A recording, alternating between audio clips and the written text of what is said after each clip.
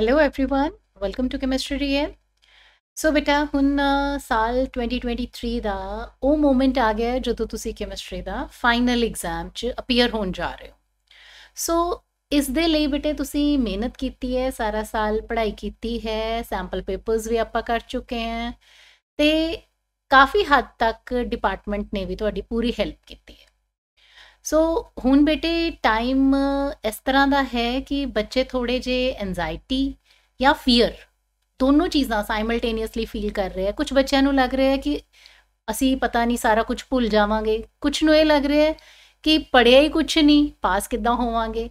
ਸੋ extra ਦੀਆਂ ਜਿਹੜੀਆਂ queries ਹੈ, ਉਹਨਾਂ ਨੂੰ ਸੌਰਟ ਆਊਟ ਕਰਨ ਦੇ ਲਈ ਅੱਜ ਦਾ ਇਹ ਵੀਡੀਓ ਬਣਾਇਆ ਹੈ। ਇਸ ਵੀਡੀਓ ਦੇ ਵਿੱਚ ਬੇਟੇ ਮੈਂ ਉਹਨਾਂ ਬੱਚਿਆਂ ਨੂੰ ਜ਼ਰੂਰ ਕੋਸ਼ਿਸ਼ ਕਰੂੰਗੀ ਕਿ ਤੁਹਾਨੂੰ ਮੈਂ ਕੁਝ ਸਮਝਾ ਸਕਾਂ ਕਿ ਜੇ ਤੁਸੀਂ ਹਾਲ ਤੱਕ ਕੋਈ ਪੜ੍ਹਾਈ ਨਹੀਂ ਕੀਤੀ ਹੈ ਈਵਨ ਦੈਨ ਤੁਸੀਂ ਪਾਸਿੰਗ ਮਾਰਕਸ ਜਾਂ ਅੱਛੇ ਮਾਰਕਸ ਕਿਵੇਂ ਲੈ ਸਕਦੇ ਹੋ? ਤੇ ਜਿਨ੍ਹਾਂ ਸਟੂਡੈਂਟਸ ਨੂੰ ਇਹ ਲੱਗ ਰਿਹਾ ਹੈ ਕਿ ਸਾਡੇ ਕੋਲੇ ਪੇਪਰ ਦੀ ਡੇਟ ਸ਼ੀਟ ਦੇ ਅਨੁਸਾਰ ਟਾਈਮ ਬਹੁਤ ਥੋੜਾ ਹੈ ਕਿ ਅਸੀਂ ਪਤਾ ਨਹੀਂ ਕਿੱਦਾਂ ਤਿਆਰੀ ਕਰਾਂਗੇ, ਉਹਨਾਂ ਨੂੰ ਵੀ ਬੇਟਾ ਟਿਪਸ ਦੇਣੇ ਹੈ ਤੇ ਕੁਝ ਟ੍ਰਿਕਸ ਹੈ ਜੋ ਆਪਾਂ ਐਗਜ਼ਾਮੀਨੇਸ਼ਨ ਦੇ ਡਿਊਰਿੰਗ ਜੇ ਆਪਾਂ ਪ੍ਰੈਜ਼ੈਂਸ ਆਫ ਮਾਈਂਡ ਦਾ ਇਸਤੇਮਾਲ ਕਰਦੇ ਹਾਂ, ਤਾਂ ਵੀ ਅਸੀਂ ਅੱਛੇ ਮਾਰਕਸ ਲੈ ਸਕਦੇ ਹਾਂ।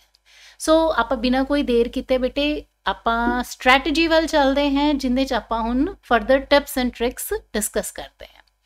ਸੋ ਫਸਟ ਆਫ ਆਲ ਬੇਟੇ, ਮੇਰੇ ਅਕੋਰਡਿੰਗਲੀ ਆਪਾਂ ਨੂੰ ਜੋ ਇਨਫੋਰਮੇਸ਼ਨ ਸਭ ਨੂੰ ਪਤਾ ਹੈ, that is ਕਿ ਜਿਹੜਾ ਆਪਣਾ ਥਿਊਰੀ ਐਗਜ਼ਾਮ ਹੈ, ਉਹ 70 ਮਾਰਕਸ ਦਾ ਹੈ ਤੇ ਪ੍ਰੈਕਟੀਕਲ 25 ਐਂਡ CCE ਬੇਟੇ 5 ਮਾਰਕਸ ਦੀ ਹੈ।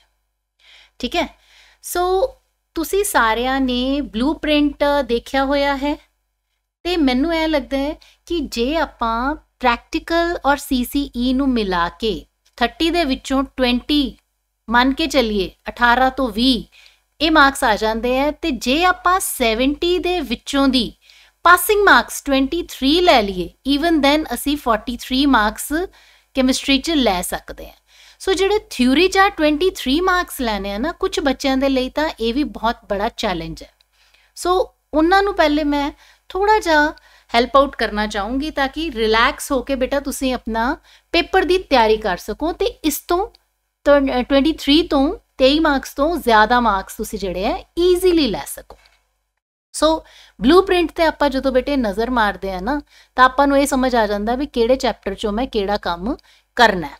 ਸੋ ਬੇਟੇ ਆਪਾਂ ਸਮਾਰਟ ਰਿਵੀਜ਼ਨ ਕਰਨੀ ਹੈ। ਸਮਾਰਟ ਰਿਵੀਜ਼ਨ ਦੇ ਵਿੱਚ ਕੀ ਹੈ ਕਿ ਬਲੂਪ੍ਰਿੰਟ ਤੋਂ ਸਾਨੂੰ ਇਹ ਪਤਾ ਹੈ ਕਿ ਜੇ ਅਸੀਂ ਇੰਟਰਨਲ ਚੁਆਇਸ ਵਾਲੇ ਫਾਰਮੂਲੇ ਮਤਲਬ solid state solution electrochemistry chemical kinetics ਜਿਹੜਾ ਨੂਮੈਰੀਕਲ ਪਾਰਟ ਹੈ ਬੇਟੇ, ਉਹ ਸਿਰਫ ਤੁਹਾਨੂੰ ਚਾਰ ਚੈਪਟਰਸ ਚੋਂ ਆਣਾ ਹੈ ਤੇ ਜੇ ਉਹਨਾਂ ਚਾਰ ਚੈਪਟਰਸ ਦੀ ਤੁਹਾਨੂੰ ਕੋਈ ਥਿਊਰੀ ਨਹੀਂ ਵੀ ਆਂਦੀ ਸਿਰਫ ਇਹਨਾਂ ਦੇ ਜਿਹੜੇ ਇੰਪੋਰਟੈਂਟ ਫਾਰਮੂਲੇ ਹੈ, ਜਿਵੇਂ ਸੋਲਿਡ ਸਟੇਟ ਦਾ ਡੈਂਸਿਟੀ ਦਾ ਜਾਂ ਫਾਰਮੂਲਾ ਫਾਈਂਡਿੰਗ ਵਾਲੇ PQ ਜਾਂ PQ3 face centre body centred ਇਸ ਤਰ੍ਹਾਂ ਦੇ ਜਿਹੜੇ ਪੁਆਇੰਟਸ ਹੈ ਡੈਂਸਿਟੀ ਦੇ ਫਾਰਮੂਲੇ ਦੇ ਵਿੱਚ ਬੇਟੇ Z ਆਂਦਾ ਹੈ, Z ਜਿਹੜਾ ਹੈ 1 2 ਜਾਂ 4 ਹੋ ਸਕਦਾ ਹੈ ਸਿਰਫ।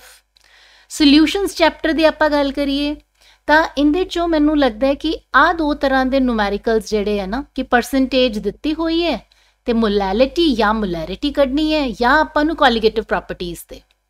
ਇਲੈਕਟ੍ਰੋਕੈਮਿਸਟਰੀ ਚੋਂ ਬੇਟਾ ਨਰਨਸਟ ਇਕੁਏਸ਼ਨ ਤੇ ਸਵਾਲ ਆਉਣ ਦੀ ਪੂਰੀ ਪੂਰੀ ਸੰਭਾਵਨਾ ਹੈ। ਦੈਨ ਕੈਮੀਕਲ ਕਾਈਨੈਟਿਕਸ ਦੇ ਵਿੱਚੋਂ ਬੇਟੇ ਆਪਾਂ ਨੂੰ T ਹਾਫ ਤੇ ਟਾਈਮ ਦੇ ਫਾਰਮੂਲੇ ਤੋਂ। ਮਤਲਬ K ਦਾ ਜਿਹੜਾ ਆਪਣਾ ਫਾਰਮੂਲਾ ਹੁੰਦਾ ਹੈ ਜਿੰਦੇ ਚ origignal concentration ਤੇ concentration left after t seconds ਮਤਲਬ ਜੇ ਤੁਸੀਂ ਕੁੱਲ ਮਿਲਾ ਕੇ ਆਹ ਵਾਲੇ ਫਾਰਮੂਲੇ ਇਹਨਾਂ ਨੂੰ ਲਰਨ ਕਰ ਲੈਂਦੇ ਹੋ, ਚਾਰ ਚੈਪਟਰਸ ਦੇ ਸਿਰਫ ਕੁਝ ਚੁਣਿੰਦਾ ਫਾਰਮੂਲੇ ਜਿਹੜੇ ਇੱਥੇ ਮੈਂ ਮੈਂਸ਼ਨ ਕੀਤੇ ਆ, ਉਹ ਕਰ ਲੈਂਦੇ ਹੋ। ਆਈ ਹੋਪ ਕਿ ਤੁਸੀਂ 12 ਮਾਰਕਸ ਜਿਹੜੇ ਨੂਮੈਰੀਕਲ ਵਾਲੇ ਆ। ਮੈਂ ਇਹਦੇ ਚ ਜਿਹੜਾ ਇੱਕ ਨੂਮੈਰੀਕਲ ਐਮਸੀਕਿਊਜ਼ ਚਾਹਨਾ ਬੇਟੇ, ਉਹ ਨਹੀਂ ਮੈਂ ਇਹਦੇ ਚ ਕਾਊਂਟ ਕਰ ਰਹੀ। ਜੇ ਤੁਸੀਂ ਆ ਕਰ ਲੈਂਦੇ ਹੋ ਬੇਟਾ, ਸਿਰਫ ਫਾਰਮੂਲੇ ਯਾਦ ਕਰ ਲੈਂਦੇ ਹੋ ਨਾ, ਤੁਹਾਡੇ 12 ਮਾਰਕਸ ਆ ਸਕਦੇ ਆ। ਉਸ ਦੇ ਬਾਅਦ ਬੇਟੇ ਗੱਲ ਕਰਦੇ ਆਂ ਬਲੂਪ੍ਰਿੰਟ ਚ ਆਪਾਂ ਦੇਖਦੇ ਆਂ, ਤੇ ਸਾਨੂੰ ਐ ਲੱਗਦਾ ਹੈ ਕਿ ਐਮਸੀਕਿਊਜ਼ ਵਾਲਾ ਜਿਹੜਾ ਕੁਐਸਚਨ ਨੰਬਰ 1 ਹੈ, ਉਹ ਕਾਫੀ ਜ਼ਿਆਦਾ ਟੀਡੀਅਸ ਹੈ। ਤੋ ਤੁਸੀਂ ਧਿਆਨ ਨਾਲ ਦੇਖੋ ਬੇਟਾ ਐਮਸੀਕਿਊਜ਼ ਕਾਫੀ ਚੈਪਟਰਸ ਚੋਂ ਆ ਰਹੇ ਹੈ ਤੇ ਐਨੇ ਚੈਪਟਰਸ ਦੀ ਤਿਆਰੀ ਹੈ ਨਾ ਮੁਸ਼ਕਿਲ ਕੰਮ ਲੱਗਦਾ ਹੈ ਨਾ? ਪਰ ਆ ਜਿਹੜੇ ਨੰਬਰ ਹੈ ਕੰਪਰੀਹੈਂਸ਼ਨ ਵਾਲੇ, ਇਹ ਤਾਂ ਬਿਨਾ ਚੈਪਟਰ ਪੜ੍ਹੇ ਵੀ ਤੁਸੀਂ ਬੇਟਾ, ਜੇ ਥੋੜਾ ਬਹੁਤ ਵੀ ਸਾਲ ਦੇ ਵਿੱਚ ਕਦੇ ਵੀ ਰਿਵੀਜ਼ਨ ਕੀਤੀ ਹੈ ਤਾਂ ਆ 5 ਮਾਰਕਸ ਪੰਜ ਕੁਐਸਚਨ ਬੇਟੇ ਦਿੱਤੇ ਗਏ ਪੈਰੇ ਚੋਂ ਪੁੱਛੇ ਜਾਣਗੇ ਪੈਰਾ ਦਿੱਤਾ ਹੋਏਗਾ। ਉਹਦੇ ਚੋਂ ਤੁਸੀਂ ਬੇਟੇ ਇਹ 5 ਮਾਰਕਸ ਤਾਂ ਜ਼ਰੂਰ ਪੱਕੇ ਕਰ ਸਕਦੇ ਹੋ। ਸੋ 5 ਮਾਰਕਸ ਆਪਣੇ ਕੰਪਰੀਹੈਂਸ਼ਨ ਵਾਲੇ ਪੱਕੇ ਹੋ ਗਏ। 12 ਮਾਰਕਸ ਅਸੀਂ ਨੂਮੈਰੀਕਲਸ ਦੇ ਲਗਾ ਰਹੇ ਹਾਂ। ਠੀਕ ਹੈ ਜੀ? 17 ਮਾਰਕਸ ਹੋ ਗਏ। ਅੱਛਾ, ਹੁਣ ਜਿਹੜਾ ਆਪਣਾ ਕੁਐਸਚਨ 1 ਹੈ ਨਾ, ਜਦੋਂ ਤੁਸੀਂ ਇਹਦੇ 'ਚ ਦੇਖਦੇ ਹੋ ਤਾਂ ਤੁਹਾਨੂੰ ਐਮਸੀਕਿਊਜ਼ ਤੋਂ ਇਲਾਵਾ ਐਮਸੀਕਿਊਜ਼ ਤੋਂ ਇਲਾਵਾ ਬੇਟੇ ਟਰੂ ਫਾਲਸ ਕੁਐਸਚਨ ਵੀ ਆਨੇ ਆ। ਪੰਜ ਤੁਹਾਡੇ ਕੋਲੇ ਟਰੂ ਫਾਲਸ ਕੁਐਸਚਨਸ ਹੋਣਗੇ। ਠੀਕ ਹੈ? ਸੋ ਇਹ ਟਰੂ ਫਾਲਸ ਕੁਐਸਚਨਸ ਚੋਂ ਵੀ ਆਪਾਂ ਮਾਰਕਸ ਜਿਹੜੇ ਹੈ ਈਜ਼ੀਲੀ ਲੈ ਸਕਦੇ ਹਾਂ ਕਿਵੇਂ ਲੈ ਸਕਦੇ ਹਾਂ ਬੇਟੇ? ਮੈਂ ਇੱਥੇ ਤੁਹਾਨੂੰ ਡਿਟੇਲ ਦੱਸ ਦਿੰਨੀ ਹੈ ਕਿ ਅਸੀਂ ਕਿਹੜੇ-ਕਿਹੜੇ ਮਾਰਕਸ ਇਨਸ਼ੋਰ ਕੀਤੇ ਹੈ ਕੰਪਰੀਹੈਂਸ਼ਨ ਦੇ ਨੂਮੈਰੀਕਲਸ ਦੇ, ਠੀਕ ਹੈ? ਇਸ ਦੇ ਬਾਅਦ ਬੇਟੇ ਮੈਂ ਟਰੂ ਫਾਲਸ ਦੇ 2 ਮਾਰਕਸ ਇੱਥੇ। ਕਿਸ ਤਰ੍ਹਾਂ ਲੈ ਰਹੀ ਹਾਂ? ਬੇਟੇ, ਜੇ ਤੁਹਾਨੂੰ ਕੋਈ ਵੀ ਟਰੂ ਫਾਲਸ ਨਹੀਂ ਆਂਦਾ ਤੁਸੀਂ ਜਾਂ ਤਾਂ ਸਾਰੇ ਹੀ ਪੰਜ ਦੇ ਪੰਜ ਆਪਸ਼ਨਸ ਜਿਹੜੀਆਂ ਉਹ ਟਰੂ ਲਿਖ ਦਿਓ ਜਾਂ ਪੰਜ ਦੀਆਂ ਪੰਜ ਤੁਸੀਂ ਫਾਲਸ ਲਿਖ ਦਿਓ ਠੀਕ ਹੈ? ਇਹਦੇ ਨਾਲ ਕੋਈ ਦੋ ਜਾਂ ਕੋਈ ਤਿੰਨ ਤਾਂ ਠੀਕ ਹੋ ਹੀ ਜਾਣਗੇ ਆਪਣੇ। ਓਕੇ ਸੋ ਇਹ ਮੈਂ ਟਰੂ ਫਾਲਸ ਦੇ ਮਾਰਕਸ ਲੈ ਲੇ ਆਪਣੇ ਹੋ ਗਏ ਇਹ 19 ਮਾਰਕਸ ਹੁਣ ਬਚੀ ਗੱਲ ਆਪਣੇ ਕੋਲੇ ਬਾਕੀ ਦੇ ਐਮਸੀਕਿਊਜ਼ ਦੀ। ਹੈ ਨਾ ਜਿਹੜੇ ਐਮਸੀਕਿਊਜ਼ ਹੈ ਨਾ ਬੇਟੇ, ਇਹਨਾਂ ਨੂੰ ਸੌਰਟ ਆਊਟ ਕਰਨ ਦਾ ਵੀ ਇੱਕ ਤਰੀਕਾ ਹੁੰਦਾ ਹੈ। ਮੰਨ ਲਓ, ਮੈਨੂੰ ਕੋਈ ਐਮਸੀਕਿਊ ਨਹੀਂ ਆਉਂਦਾ, ਤਾਂ ਮੈਂ ਕੀ ਕਰੂੰਗੀ?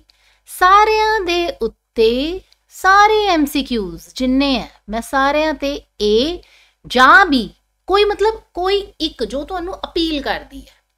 ਕੋਈ ਵੀ ਇੱਕ ਆਪਸ਼ਨ ਸਾਰਿਆਂ ਤੇ ਇਹੀ ਵਾਲੀ ਟਿਕ ਕਰ ਦੋ। 2 4 5 ਕੁਝ ਤਾਂ ਹੋਣਗੇ ਜਿਨ੍ਹਾਂ ਦੇ ਵਿੱਚ ਆਨਸਰ A ਹੈ ਜਾਂ B ਹੈ। ਜੋ ਵੀ ਤੁਹਾਨੂੰ ਠੀਕ ਲੱਗਦੀ ਹੈ, ਕੋਈ ਇੱਕ। ਸੋ ਇਹਦੇ ਚੋਂ ਮੈਂ ਮੰਨ ਕੇ ਚੱਲਦੀ ਹਾਂ ਕਿ ਮੇਰੇ ਕੋਈ 4 ਠੀਕ ਹੋ ਜਾਣਗੇ। ਸੋ ਬੇਟੇ, ਮੇਰੇ ਪਾਸਿੰਗ ਮਾਰਕਸ ਤਾਂ ਇੱਥੇ ਹੀ ਆ ਗਏ। ਹੈ ਨਾ? 4 ਮਾਰਕਸ ਜੇ ਮੈਂ ਐਮਸੀਕਿਊਜ਼ ਦੇ ਲਗਾ ਲਵਾਂ ਤਾਂ ਮੇਰੇ ਕੋਲੇ ਟੋਟਲ 19 4 23 ਹੋ ਗਏ। ਸੋ ਪਾਸਿੰਗ ਮਾਰਕਸ ਤਾਂ ਮੇਰੇ ਇੱਥੇ ਹੀ ਹੋ ਗਏ। ਹੁਣ ਜਦੋਂ ਆਪਾਂ ਗੱਲ ਕਰ ਹੀ ਰਹੇ ਹਾਂ, ਤਾਂ ਆਪਾਂ ਗੱਲ ਸਮਾਰਟ ਰਿਵੀਜ਼ਨ ਦੀ ਸ਼ੁਰੂ ਕੀਤੀ ਹੈ, ਜਿੰਦੇ ਵਿੱਚ ਮੈਂ ਤੁਹਾਨੂੰ ਐਮਸੀਕਿਊਜ਼ ਦੇ ਵਿੱਚ ਕਿਵੇਂ ਪ੍ਰੈਜ਼ੈਂਸ ਆਫ ਮਾਈਂਡ ਇਸਤੇਮਾਲ ਕਰਨੀ ਹੈ ਟਰੂ ਫਾਲਸ ਚ ਕਿਵੇਂ ਕਰਨੀ ਹੈ ਕੰਪਰੀਹੈਂਸ਼ਨ ਸੋ ਇਸ ਦੇ ਬਾਅਦ ਸਾਡੇ ਕੋਲੇ ਡੋਨਟ ਫੋਰਗੇਟ ਕਿ ਆਪਣੇ ਕੋਲੇ ਕਾਫੀ ਟਾਈਮ ਹੈ। ਪੇਪਰ ਤੋਂ ਪਹਿਲਾਂ, ਜਿਸ ਦਿਨ ਤੁਸੀਂ ਪੇਪਰ ਦੇ ਕੇ ਆਓਗੇ ਪੰਜਾਬੀ ਦਾ, ਉਸ ਦਿਨ ਦਾ ਹਾਫ ਡੇ ਹੈ ਦੈਨ ਇੱਕ ਛੁੱਟੀ ਹੈ ਤੇ ਅਗਲਾ ਦਿਨ ਵੀ ਹੈ। ਅਗਲਾ ਦਿਨ ਬੇਟੇ ਤੁਹਾਡਾ 2 ਵਜੇ ਪੇਪਰ ਹੈ ਸੋ ਨੈਕਸਟ ਹਾਫ ਡੇ ਵੀ ਤਾਂ ਹੈ ਆਪਣੇ ਕੋਲੇ। ਸੋ ਕੁੱਲ ਮਿਲਾ ਕੇ ਹਾਫ ਡੇ ਆਪਣਾ ਪੰਜਾਬੀ ਦੇ ਪੇਪਰ ਵਾਲੇ ਦਿਨ so we have got 2 days so ਇਹਨਾਂ ਦੋ ਦਿਨਾਂ ਦੇ ਵਿੱਚ ਸਮਾਰਟ ਟਿਪਸ ਤੋਂ ਇਲਾਵਾ ਥੋੜੀ ਬਹੁਤ ਤਿਆਰੀ ਤਾਂ ਆਪਾਂ ਕਰਾਂਗੇ ਨਾ ਹੁਣ ਆਰਗੈਨਿਕ ਚੋਂ ਬਹੁਤ ਹੀ ਸਿਲੈਕਟਡ ਥਿਊਰੀ ਕੁਐਸਚਨਸ ਜਿਹੜੇ ਹੈਲੋ ਅਲਕੇਨਸ ਤੇ ਹੈਲੋ ਅਰੀਨਸ ਚੈਪਟਰ ਚੋਂ ਹੈ ਜਿਵੇਂ why haloarenes are less reactive than SN1 SN2 ਦੇ ਵਿੱਚ ਡਿਫਰੈਂਸਸ ਹੈਗੇ ਆ ਦੈਨ KCN ਤੇ AGCN ਵਾਲਾ ਸਵਾਲ ਹੈ ਠੀਕ ਹੈ ਇਸੇ ਤਰ੍ਹਾਂ KNO2 ਐਂਡ AGNO2 ਵਾਲਾ ਸਵਾਲ ਹੈ ਜੇ ਇਹ ਵਾਲੇ ਸਵਾਲ ਤੁਸੀਂ ਪ੍ਰਿਪੇਅਰ ਕਰਦੇ ਹੋ ਆਈ ਹੋਪ ਬੇਟੇ ਕਿ ਕਾਫੀ ਕਾਫੀ ਕਾਫੀ ਇੰਪੋਰਟੈਂਟ ਹੈ ਸੋ ਇਸ ਚੈਪਟਰ ਚੋਂ ਤੁਸੀਂ 5 ਮਾਰਕਸ ਦੇ ਵਿੱਚੋਂ ਤੁਹਾਨੂੰ ਕੋਈ ਦੋ ਪਾਰਟ ਤਿੰਨ ਪਾਰਟ ਕੁਝ ਤਾਂ ਆਂਦਾ ਹੀ ਹੋਏਗਾ। ਸੋ ਇਹਦੇ ਚੋਂ ਵੀ ਆਪਾਂ ਘੱਟੋ ਘੱਟ 2 ਮਾਰਕਸ ਮੰਨ ਕੇ ਚੱਲ ਰਹੇ ਹਾਂ। ਠੀਕ ਹੈ? ਜੇ ਆਪਾਂ ਨੂੰ ਕੋਈ ਸਵਾਲ ਸੋਲਿਊਬਿਲਿਟੀ ਤੇ ਆ ਜਾਂਦਾ ਹੈ ਕਿ ਕੋਈ ਕੰਪਾਊਂਡ X ਹੈ ਜਿਹੜਾ ਉਹ ਵਾਟਰ ਸੋਲਿਊਬਲ ਹੈ। ਜਦੋਂ ਵੀ ਕੋਈ ਕੰਪਾਊਂਡ ਵਾਟਰ ਸੋਲਿਊਬਲ ਹੈ Y ਪੁੱਛਿਆ ਜਾਂਦਾ ਹੈ, ਤਾਂ ਤੁਸੀਂ ਲਿਖਣਾ ਹੈ answer because it forms hydrogen bonding. ਜੇ ਤੁਸੀਂ ਆ ਲਿਖ ਦਿੰਨੇ ਹੋ, ਤੁਹਾਨੂੰ ਫੇਰ ਵੀ ਮਾਰਕਸ ਮਿਲ ਜਾਣਗੇ। ਠੀਕ ਹੈ? ਬਿਕੋਜ਼ ਇਟ ਫਾਰਮਸ ਹਾਈਡਰੋਜਨ ਜਿਹੜਾ ਵੀ ਤੁਹਾਨੂੰ ਸਵਾਲ ਪੁੱਛਿਆ ਜਾਂਦਾ ਹੈ ਇਸ ਦੇ ਮਾਮਲੇ 'ਚ। ਅੱਛਾ, ਜੇ ਪੁੱਛਿਆ ਜਾਂਦਾ ਹੈ ਕਿ ਕਿਸੇ ਦਾ ਮੈਲਟਿੰਗ ਪੁਆਇੰਟ ਜ਼ਿਆਦਾ ਕਿਉਂ ਹੈ, ਤੁਸੀਂ ਕਹੋ it has symmetrical structure crystal lattice 'ਚ ਈਜ਼ੀਲੀ ਫਿਟ ਹੁੰਦਾ ਹੈ। ਫਿਟਸ ਇਨ ਕ੍ਰਿਸਟਲ ਲੈਟਿਸ ਜਿਸ ਕਰਕੇ ਇਹਦਾ melting point is more okay ਤੇ ਜੇ ਆਪਾਂ ਨੂੰ ਸਵਾਲ ਬੋਇਲਿੰਗ ਪੁਆਇੰਟ ਤੇ ਆਂਦਾ ਹੈ ਤਾਂ ਤੁਸੀਂ ਉੱਥੇ ਕਹਿਣਾ ਹੈ ਕਿ ਇਹ ਐਸੋਸੀਏਟਿਡ ਲਿਕੁਇਡ ਹੈ ਇਹਦੇ ਵਿੱਚ ਇੰਟਰਮੋਲੀਕੂਲਰ ਹਾਈਡਰੋਜਨ ਬੌਂਡਿੰਗ ਹਾਈ ਹੋਏਗੀ ਜਾਂ ਤੁਸੀਂ ਵੈਸੇ ਕਹਿ ਸਕਦੇ ਹੋ ਕਿ ਇਹਦੇ ਵਿੱਚ ਹਾਈ ਇੰਟਰਮੋਲੀਕੂਲਰ ਫੋਰਸਸ ਹੋਣਗੀਆਂ ਸਟਰੋਂਗ ਇੰਟਰਮੋਲੀਕੂਲਰ ਫੋਰਸਸ ਹਾਈ ਨਹੀਂ ਸਟਰੋਂਗ ਇੰਟਰਮੋਲੀਕੂਲਰ ਫੋਰਸਸ ਜਿਸ ਕਰਕੇ boiling point will be high ਠੀਕ ਹੈ ਜੀ? ਹੁਣ ਇਸ ਦੇ ਬਾਅਦ ਬੇਟੇ ਤੁਹਾਨੂੰ ਸਵਾਲ ਪੁੱਛਿਆ ਜਾ ਸਕਦਾ ਹੈ ਡਿਸਟਿੰਕਸ਼ਨਸ ਤੇ। ਡਿਸਟਿੰਕਸ਼ਨਸ ਤੇ ਸਵਾਲ ਹੋ ਸਕਦਾ ਹੈ ਕਿ ਪ੍ਰਾਇਮਰੀ ਸੈਕੰਡਰੀ ਟਰਸ਼ਰੀ ਅਲਕੋਹਲ ਇਹਦੇ ਲਈ ਬੇਟੇ ਤੁਸੀਂ ਲਿਊਕਾਸ ਟੈਸਟ ਕੀਤਾ ਹੋਇਆ ਹੈ ਤੇ ਵਿਕਟਰ ਮੀਅਰ ਟੈਸਟ ਵੀ ਕੀਤਾ ਹੋਇਆ ਦੋਨਾਂ ਚੋਂ ਜਿਹੜਾ ਤੁਹਾਨੂੰ ਠੀਕ ਲੱਗੇ, ਤੁਸੀਂ ਉਹ ਲਿਖ ਸਕਦੇ ਹੋ। ਠੀਕ ਹੈ? ਅਲਕੋਹਲ ਔਰ ਫਿਨੋਲ ਦੇ ਵਿੱਚੋਂ ਜੇ ਆਪਾਂ ਦੇਖੀਏ ਤਾਂ ਫਿਨੋਲ ਜਿਹੜੇ ਹੈ, ਉਹ ਲਿਟਮਸ ਟੈਸਟ ਦਿੰਦੇ ਆ phenols give number 1 litmus test ਜੋ ਕਿ ਅਲਕੋਹਲ ਲਿਟਮਸ ਟੈਸਟ ਨਹੀਂ ਦਿੰਦੇ। ਠੀਕ ਹੈ?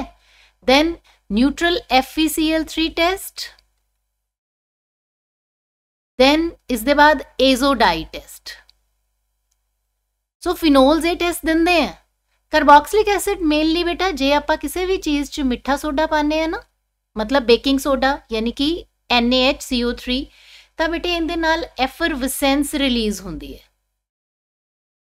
ਠੀਕ ਹੈ? ਸੋ ਐਫਰਵਸੈਂਸ ਕਾਦੇ ਕਰਕੇ ਹੁੰਦੀ ਹੈ? ਬਿਕੋਜ਼ ਕਾਰਬਨ ਡਾਈਆਕਸਾਈਡ ਗੈਸ ਬਾਹਰ ਨਿਕਲਦੀ ਹੈ। ਜਿਵੇਂ ਆਪਾਂ ਪਾਣੀ 'ਚ ਇਨੋ ਪਾਉਂਦੇ ਆ ਬੁਲਬੁਲੇ ਨਿਕਲਦੇ ਆ। ਜੇ ਆਪਾਂ ਕਿਸੇ ਕਾਰਬੋਕਸਿਲਿਕ ਐਸਿਡ ਦੇ ਵਿੱਚ ਬੇਕਿੰਗ ਪਾਊਡਰ ਪਾਵਾਂਗੇ ਤਾਂ ਵੀ ਬੇਟਾ ਇੱਥੇ ਐਫਰਵਸੈਂਸ ਪ੍ਰੋਡਿਊਸ ਹੋਏਗੀ ਸੋ ਇਹ ਡਿਸਟਿੰਕਸ਼ਨ ਟੈਸਟ ਹੈ ਡਿਸਟਿੰਗੁਇਸ਼ਿੰਗ ਟੈਸਟ ਹੈ ਜੇ ਐਲਡੀਹਾਈਡ ਕੀਟੋਨ ਹੈ ਮਤਲਬ ਕੋਈ ਐਸੀਟੈਲਡੀਹਾਈਡ ਹੈ ਤੇ ਐਸੀਟੋਨ ਹੈ ਤਾਂ ਬੇਟੇ ਇਹਨਾਂ 'ਚ ਡਿਸਟਿੰਕਸ਼ਨ ਹੋਏਗੀ ਟੋਲਰੈਂਸ ਟੈਸਟ ਦੇ ਨਾਲ ਸਿਲਵਰ ਮਿਰਰ ਟੈਸਟ ਦੇ ਨਾਲ ਜੇ ਐਲੀਫੈਟਿਕ ਐਲਡੀਹਾਈਡ ਔਰ ਐਰੋਮੈਟਿਕ ਐਲਡੀਹਾਈਡ ਹੈ ਬੇਟਾ ਫਿਰ ਆਪਾਂ ਇੱਥੇ ਹੈਲਪ ਲਵਾਂਗੇ ਫੈਲਿੰਗ ਸੋਲੂਸ਼ਨ ਟੈਸਟ ਦੀ ਠੀਕ ਹੈ ਜੀ ਪ੍ਰਾਇਮਰੀ ਸੈਕੰਡਰੀ ਟਰਸ਼ਰੀ ਅਮੀਨਸ ਬੇਟਾ ਹਿੰਸਬਰਗ ਰੀਏਜੈਂਟ ਟੈਸਟ ਦੇ ਨਾਲ ਕਿਤੇ ਜਾ ਸਕਦੇ ਹਨ ਡਿਸਟਿੰਗੁਇਸ਼ ਔਰ ਐਨਿਲਿਨ ਐਜ਼ੋਡਾਈ ਟੈਸਟ ਦਿੰਦੀ ਹੈ ਇਸ ਤੋਂ ਇਲਾਵਾ ਬੇਟੇ ਨੇਮਡ ਰਿਐਕਸ਼ਨਸ ਤੇ ਵੀਡੀਓਜ਼ ਬਣੇ ਹੋਏ ਆ ਆਹ ਵਾਲੇ ਜਿਹੜੇ ਨੇਮਡ ਰਿਐਕਸ਼ਨਸ ਹੈ ਨਾ ਇਹ ਹੈਗੇ ਹੈ from haloalkane and haloarene ਇਸ ਚੈਪਟਰ ਚੋਂ ਹੈ ਸੋ ਇਹਦੇ ਚੋਂ ਬੇਟੇ ਜੇ ਆਪਾਂ ਨੂੰ ਇਹਨਾਂ ਚੋਂ ਕੋਈ ਦੋ ਤਿੰਨ ਵੀ ਆ ਜਾਂਦੇ ਆ ਤਾਂ ਵੀ ਆਪਣੇ ਕੋਲੇ ਮਾਰਕਸ ਉਹਦੇ ਅਕੋਰਡਿੰਗਲੀ ਆਪਾਂ ਨੂੰ ਮਿਲ ਜਾਣਗੇ। ਇਹ 10 ਰਿਐਕਸ਼ਨ ਸਿਰਫ ਯਾਦ ਕਰ ਲਓ, ਜ਼ਿਆਦਾ ਨਹੀਂ ਕਹਿ ਰਹੀ ਮੈਂ। ਦੈਨ DDT ਦਾ ਸਟਰਕਚਰ ਫ੍ਰੀਓਨਸ ਕੀ ਹੈ DDT ਦੇ ਕੀ ਯੂਜ਼ਸ ਹੈ। ਸੋ ਇਹ ਕੁਐਸਚਨਸ ਵੀ ਆਪਾਂ ਨੂੰ ਐਡੀਸ਼ਨਲ ਮਾਰਕਸ ਦੇਣਗੇ। ਬੇਟੇ, ਹੁਣ ਜੇ ਮੈਂ ਗੱਲ ਕਰਾਂ ਕਿ ਕੁਝ ਬੱਚੇ ਹੈ ਜਿਹੜੇ ਏਮ ਕਰ ਰਹੇ ਹੈ 70 on 70 how to score this ਬੇਟੇ, ਇਹਦੇ ਲਈ ਸਭ ਤੋਂ ਇੰਪੋਰਟੈਂਟ ਚੀਜ਼ ਹੈ ਕਿ ਤੁਸੀਂ first of all stay relaxed worry ਨਹੀਂ ਕਰੋ ਧਿਆਨ ਦਿਓ ਪੜ੍ਹਾਈ ਕਰੋ ਅਟੈਂਟਿਵ ਰਹੋ ਠੀਕ ਹੈ ਬਟ ਚਿੰਤਾ ਨਹੀਂ ਕਰੋ ਹੁਣ ਤੁਸੀਂ ਰਿਵੀਜ਼ਨ ਜਿਹੜੀ ਹੈ ਕੰਪਲੀਟ ਨੋਟਸ ਪੜਨ ਨਹੀਂ ਬੈਠਨੇ ਹੁਣ ਜਿਸ ਤਰ੍ਹਾਂ ਜਿਸ ਤਰ੍ਹਾਂ ਤੁਹਾਨੂੰ ਬਲੂਪ੍ਰਿੰਟ ਦੇ ਅਕੋਰਡਿੰਗਲੀ ਕੁਐਸਚਨ ਆਨਸਰ ਜਿੰਨੇ ਮੈਕਸਿਮਮ ਰਿਵਾਈਜ਼ ਕਰ ਸਕਦੇ ਹੋ ਬੇਟਾ ਉਹ ਰਿਵਾਈਜ਼ ਕਰੋ ਜਿਹੜੇ ਬੱਚਿਆਂ ਨੂੰ ਐ ਲੱਗਦਾ ਹੈ ਕਿ ਸਾਨੂੰ ਲੌਗ ਟੇਬਲ ਘਰੋਂ ਲੈ ਕੇ ਜਾਣੇ ਪੈਣਗੇ ਜਾਂ ਅਸੀਂ ਲੌਗ ਟੇਬਲ ਯਾਦ ਕਰਨਾ ਹੈ, ਬੇਟਾ ਇਸ ਤਰ੍ਹਾਂ ਦਾ ਕੁਝ ਨਹੀਂ ਹੈ। ਲੌਗ ਟੇਬਲ ਤੁਹਾਨੂੰ ਐਗਜ਼ਾਮੀਨੇਸ਼ਨ ਸੈਂਟਰ 'ਚ ਪ੍ਰੋਵਾਈਡ ਕੀਤਾ ਜਾਂਦਾ ਹੈ। ਤੇ simple calculator is allowed scientific calculator allowed ਨਹੀਂ ਹੈ। ਠੀਕ ਹੈ? ਇੰਪੋਰਟੈਂਟ ਕੁਐਸਚਨਸ ਜ਼ਰੂਰ ਜ਼ਰੂਰ ਜ਼ਰੂਰ ਪ੍ਰੈਕਟਿਸ ਕਰੋ। Don't go for reading and learning whole of the chapter ਜਿਸ ਤਰ੍ਹਾਂ ਹੁਣ ਕੈਮੀਕਲ ਕਾਇਨੈਟਿਕਸ ਹੈ, ਉਹਦੇ ਵਿੱਚੋਂ ਬੇਟੇ ਆਪਾਂ ਨੂੰ ਨੂਮੈਰੀਕਲ ਪਾਰਟ ਆਣਾ ਹੈ, ਫਿਰ ਉਹ ਪੂਰੇ ਚੈਪਟਰ ਨੂੰ ਹੁਣ ਪੜਨ ਦਾ ਫਾਇਦਾ ਨਹੀਂ ਹੈ, ਬਲਕਿ ਨੂਮੈਰੀਕਲ ਪ੍ਰੈਕਟਿਸ ਕਰੋ। ਠੀਕ ਹੈ? ਇਲੈਕਟ੍ਰੋਕੈਮਿਸਟਰੀ ਚੈਪਟਰ ਹੈ, ਉਹਦੇ ਚੋਂ ਮੇਨਲੀ ਨਰਨਸਟ ਇਕੁਏਸ਼ਨ ਦੀ ਪ੍ਰੈਕਟਿਸ ਕਰੋ ਨੂਮੈਰੀਕਲਸ ਦੀ। ਕਿਉਂਕਿ ਟਾਈਮ ਆਪਣੇ ਕੋਲੇ ਥੋੜਾ ਹੈ। ਇਸ ਕਰਕੇ ਬੇਟੇ ਤੁਹਾਨੂੰ ਕਹਿ ਰਹੀ ਹਾਂ ਕਿ ਬਲੂਪ੍ਰਿੰਟ ਦੀ ਹੈਲਪ ਲਓ। 70 on 70 is not a very difficult question uh, situation but ਹਾਂ 70 on 70 ਦੇ ਲਈ ਬੇਟੇ ਤੁਸੀਂ ਇੱਕ ਵੀ ਲਾਈਨ ਮਿਸ ਨਹੀਂ ਕਰ ਸਕਦੇ। ਕਈ ਬੱਚਿਆਂ ਨੂੰ ਕੀ ਲੱਗਦਾ ਕਿ ਮੈਂ ਮੈਨੂੰ ਐਮਸੀਕਿਊਜ਼ ਨਹੀਂ ਆਉਂਦੇ ਹੋਣਗੇ ਮੇਰੇ 65 ਤੋਂ ਵੱਧ ਮਾਰਕਸ ਨਹੀਂ ਆ ਸਕਦੇ। ਪੇਪਰ ਦੇ ਵਿੱਚ ਸਭ ਤੋਂ ਪਹਿਲੇ ਉਹ ਐਮਸੀਕਿਊਜ਼ ਪੜਨ ਬੈਠ ਜਾਂਦੇ ਕਿ ਮੈਨੂੰ ਆਉਂਦੇ ਹੈ ਕਿ ਨਹੀਂ। ਬੇਟਾ ਤੁਸੀਂ ਜਦੋਂ ਇੱਕ ਮਾਈਂਡ ਵੈਲ ਕੰਪੋਜ਼ਡ ਹੁੰਦਾ ਨਾ ਰਿਲੈਕਸਡ ਹੁੰਨੇ ਹੋ ਫੀਅਰ ਚ ਨਹੀਂ ਹੁੰਦੇ। ਤਾਂ ਤੁਸੀਂ ਪਹਿਲਾਂ ਜਿਹੜੇ ਚੀਜ਼ ਤੁਹਾਨੂੰ ਪੱਕੀ ਹੈ 65 ਤਾਂ ਇਨਸ਼ੋਰ ਕਰੋ। ਸੋ ਇਹਦੇ ਲਈ ਤੁਸੀਂ ਸਭ ਤੋਂ ਪਹਿਲਾਂ 5 ਮਾਰਕਸ ਕੁਐਸਚਨਸ ਉਹਨਾਂ ਨੂੰ ਅਟੈਂਪਟ ਕਰੋ ਟਾਈਮ ਦੇ ਵਿੱਚ। ਇਹ ਨਾ ਹੋਵੇ ਕਿ ਟਾਈਮ ਤੁਸੀਂ ਜ਼ਿਆਦਾ ਲਗਾ ਦਿਓ 5 ਮਾਰਕਸ ਨੂੰ। ਉਹਨਾਂ ਕੀ ਲਿਖੋ ਜਿੰਨਾ ਕੁ ਪੁੱਛਿਆ ਗਿਆ ਹੈ, ਜ਼ਿਆਦਾ ਨਾ ਲਿਖੋ। ਠੀਕ ਹੈ? ਫਿਰ ਇਸ ਦੇ ਬਾਅਦ ਤੁਸੀਂ 3 ਮਾਰਕਸ ਕੁਐਸਚਨ ਦੇਖੋ।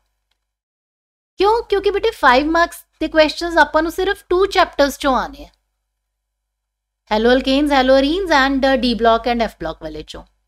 3 ਮਾਰਕਸ ਵਾਲੇ ਆਪਾਂ ਨੂੰ 4 ਚੈਪਟਰਸ ਚੋਂ ਆਨੇ ਆ। ਉਹਦੇ ਚੋਂ ਵੀ ਬੇਟਾ ਆਪਣੇ ਕੋਲੇ ਜੇ ਦੇਖਿਆ ਜਾਵੇ ਤਾਂ ਨੂਮੈਰੀਕਲ ਹੀ ਹੈ ਦੋ। ਇਲੈਕਟ੍ਰੋਕੈਮਿਸਟਰੀ ਤੇ ਕਾਇਨੈਟਿਕਸ ਠੀਕ ਹੈ ਜੀ? ਸੋ ਆਪਣੇ ਕੋਲੇ ਜਿਹੜੇ 3 ਮਾਰਕਸ ਵਾਲੇ ਆ, ਉਹ ਵੀ ਦੋ ਹੀ ਚੈਪਟਰ ਬਚਦੇ ਆ। ਕਿਹੜੇ ਕਿਹੜੇ ਚੈਪਟਰ ਬਚਦੇ ਆ? ਇੱਕ ਤਾਂ ਪੀ ਬਲੌਕ ਤੇ ਇੱਕ ਐਲਕੋਹਲ ਫਿਨੋਲ ਠੀਕ ਹੈ ਜੀ? So it is P block and alcohol phenol so ਜਦੋਂ ਤੁਸੀਂ ਤਿਆਰੀ ਕਰ ਰਹੇ ਹੋਵੋਗੇ, ਜਿਹੜੇ ਚਾਰ ਚੈਪਟਰ ਮੈਂ ਤੁਹਾਨੂੰ ਕਹੇ ਹੈ halo alkane halo arene then D block and F block P block ਤੇ ਐਲਕੋਹਲ ਫਿਨੋਲ ਐਂਡ ਈਥਰ ਇਹਨਾਂ ਚਾਰ ਚੈਪਟਰਸ ਨੂੰ ਥੋਰੋਲੀ ਪੜ੍ਹ ਲਓ। ਆਪਣੇ ਕੋਲੇ ਟਾਈਮ ਥੋੜਾ ਹੈ ਨਾ? ਫਿਰ ਜਿਹੜੇ ਚਾਰ ਚੈਪਟਰ ਆਪਣੇ ਨੂਮੈਰੀਕਲਸ ਵਾਲੇ ਆ, ਫਿਰ ਤੁਸੀਂ ਉਹਨਾਂ ਦੀ ਤਿਆਰੀ ਕਰੋ। ਇਹਨਾਂ ਦੇ ਵਿੱਚੋਂ ਦੀ ਥਿਊਰੀ ਪਾਰਟ ਜਿਹੜਾ ਤੁਹਾਨੂੰ ਸਿਰਫ ਸੋਲਿਡ ਸਟੇਟ ਦੇ ਵਿੱਚ 2 ਮਾਰਕਸ ਦਾ ਆਣਾ ਹੈ। ਠੀਕ ਹੈ ਜੀ? ਨੂਮੈਰੀਕਲ ਜਿਹੜੇ ਹੈ ਉਹਨਾਂ 'ਚ ਇੰਟਰਨਲ ਚੁਆਇਸ ਆਣੀ ਹੈ। ਇੰਟਰਨਲ ਚੁਆਇਸ ਆਪਾਂ ਨੂੰ ਕੰਮ ਬਹੁਤ ਆਸਾਨ ਕਰ ਦਿੰਦੀ ਹੈ ਬੇਟੇ। ਫਾਈਨ ਐਮਸੀਕਿਊਜ਼ ਦੇ ਲਈ ਬੇਟੇ, ਤੁਹਾਨੂੰ ਇੱਕ ਚੀਜ਼ ਯਾਦ ਰੱਖੋ ਕਿ ਐਗਜ਼ਾਮਿਨਰ ਨੇ ਦੋ ਜਾਂ ਤਿੰਨ ਕੁਐਸਚਨਸ ਤਾਂ ਇਸ ਤਰ੍ਹਾਂ ਦੇ ਡਿਫਿਕਲਟ ਹੀ ਪਾਣੇ ਆ ਬੇਟਾ, ਜਿੰਦੇ ਨਾਲ ਤੁਹਾਡਾ ਥੋੜਾ ਜਿਹਾ ਹੌਂਸਲਾ ਪੇਸ਼ੈਂਸ ਕਿੰਨਾ ਕੁ ਤੁਸੀਂ ਸਟ्रेस ਮੈਨੇਜ ਕਰ ਸਕਦੇ ਹੋ ਟਾਈਮ ਮੈਨੇਜਮੈਂਟ ਇਹ ਸਾਰੀਆਂ ਚੀਜ਼ਾਂ ਟੈਸਟ ਕਰਨ ਲਈ ਬੇਟਾ ਮੰਨ ਕੇ ਚੱਲੋ ਦੋ ਜਾਂ ਤਿੰਨ ਕੁਐਸਚਨਸ ਤਾਂ ਡਿਫਿਕਲਟ ਆਉਂਦੇ ਆ। ਸੋ ਤੁਸੀਂ ਟਾਰਗੇਟ 70 ਔਨ 70 ਰੱਖੋ it's very good but mind ਨੂੰ ਇੰਨਾ ਕੰਪੋਜ਼ਡ ਰੱਖੋ ਵੀ ਜੇ ਮੇਰੇ 65 ਤੋਂ 68 ਦੇ ਵਿੱਚ ਆ ਜਾਂਦੇ ਤਾਂ ਵੀ ਇਟਸ ਵੈਰੀ ਵੈਰੀ ਗੁੱਡ ਠੀਕ ਹੈ? ਕਈ ਵਾਰੀ ਕੀ ਹੁੰਦਾ ਕਿ ਇੱਕ ਜਾਂ ਦੋ ਸਵਾਲ ਸਾਨੂੰ ਐਮਸੀਕਿਊਜ਼ ਨਹੀਂ ਆਉਂਦੇ, ਅਸੀਂ ਇੰਨਾ ਕੁ ਹੌਸਲਾ ਜਾਂ ਹਾਰ ਜਾਂਦੇ ਆ ਬਿੱਲਾ ਮੇਰਾ ਪੇਪਰ ਹੀ ਨਹੀਂ ਵਧੀਆ ਹੋਇਆ। ਇਸ ਤਰ੍ਹਾਂ ਨਹੀਂ ਕਰਨਾ ਬੇਟਾ। 65 ਤੋਂ 68 ਤੱਕ this is very very good score ਠੀਕ ਹੈ? ਸੋ ਬੇਟੇ ਬਿਨਾ ਘਬਰਾਏ ਪ੍ਰੈਜ਼ੈਂਸ ਆਫ ਮਾਈਂਡ ਦੇ ਨਾਲ, ਆਪਣੀ ਮਿਹਨਤ ਤੇ ਵਿਸ਼ਵਾਸ ਕਰਕੇ, ਰੱਬ ਤੇ ਵਿਸ਼ਵਾਸ ਕਰਕੇ ਬੇਟਾ, ਪੇਪਰ ਦੇਣ ਜਾਓ। ਮੇਰੀਆਂ ਬੈਸਟ ਵਿਸ਼ੇਸ ਤੁਹਾਡੇ ਨਾਲ ਹੈ। ਤੁਹਾਡੇ ਬਹੁਤ ਅੱਛੇ marks on this is something I can pray for ਤੇ ਕਿਸੇ ਤਰ੍ਹਾਂ ਦੀ ਤੁਹਾਨੂੰ ਕੋਈ ਕੁਐਰੀ ਲੱਗਦੀ ਹੈ ਕਮੈਂਟ ਬਾਕਸ 'ਚ ਜ਼ਰੂਰ ਲਿਖੋ। I will be eagerly helping you thank you very much all the best